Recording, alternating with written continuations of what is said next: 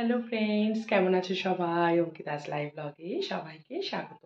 তো আর এসছে একটা নতুন ভিডিও নিয়ে। শুভ লক্ষ্মী পূজা। তো কোজাগরি পূর্ণিমায় মা লক্ষ্মীকে পুজো দেবো না সেটা তো সম্ভব হয় না।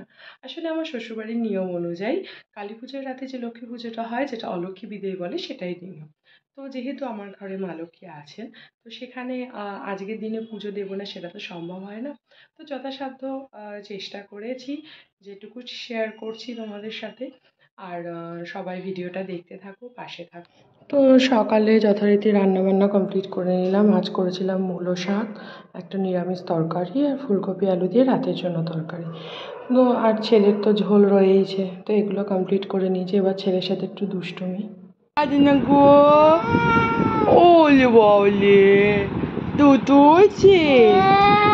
Oley baba. Çuna বাচ্চা উইচি ও চল একটু নেকু নেকুপনা হলো, তো সারাদিনের কাজ কমপ্লিট করে আমি তাড়াতাড়ি করে স্নান টান করে নিয়ে আলতা পরতে বসে গেলাম। লক্ষ্মী পুজোর দিন একটু আলতা না পরলে হয়? বাড়িতেও মা খুব পছন্দ করে যে আমি পুজোর সময় একটু আলতা টালতা পরি। তো এই যে জোজো চলে এসেছে, আমি যদি ওখান থেকে কোথাও বেরিয়ে চলে যাই, ওই জন্য ও একটুখানি দাঁড়িয়ে দাঁড়িয়ে আমাকে দেখছে, কে আসছে, কে যাচ্ছে, আমি যদি আবার চলে যাই। তো যাই হোক, যথারীতি ওখানে বসে বসে আমি আলতা টালতা পরে নিলাম। এরপরে ঠাকুরের কাজ করতে হবে। তো মা একটু এসে দেখল দেরি হয়ে যাচ্ছে বলে। তো তাড়াতাড়ি করে ঠাকুরের বাসন টাসন মেজে নিলাম। তো তারপর যথারীতি আমি পুজোর জোগাড় করেছি। তো আগের দিন আমি দেখিয়েছি যে আমি সব কিনেই এনেছি কিছু আর ঘরে করিনি এইবার। তো ওই নাড়ু, তারপরে নারকেলের নাড়ু চিড়ের মুড়ির মোয়া, আর গোটা ফলই আমি দিয়েছি। কারণ ফল কেটে দিলে আবার কে খাবে না খাবে সেটাও একটা ব্যাপার। তো গোটা গোটাই ফল দিয়েছিলাম ঠাকুরকে। তো সন্দেশ, বাতাসা এইসব দিয়ে সাজিয়ে গুছিয়ে দিলাম। তো ঘট আমি বসিয়ে নিয়েছি। তো এইসব করে নিয়ে আমি তাড়াতাড়ি করে ধুনো জ্বালিয়ে নিলাম।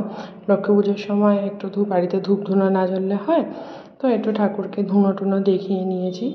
দেখিয়ে নেওয়ার পরে তো যথারীতি আমি পাঁচালি পড়তে বসলাম। এবার ওই ছেলে আর জোজোর জন্য ঠাকুরটা তো উপরে রাখা হয়েছে। এবার উপরে থেকে তো আর পাঁচালি পড়া যায় না। ওই জন্য আমি নিচে বসে পাঁচালি পড়া কমপ্লিট করে নিলাম। এমনি কোনো ব্রাহ্মণ দিয়ে পুজো দিই না।